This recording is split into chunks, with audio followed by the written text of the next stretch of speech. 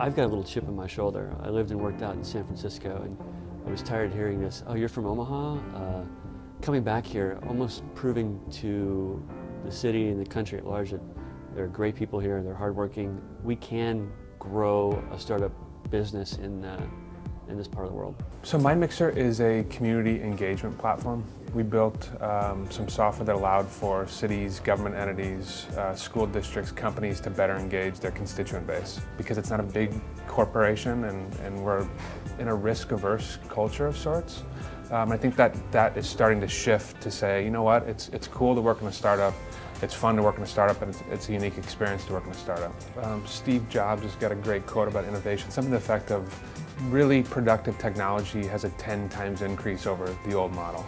This company wouldn't exist if people didn't care.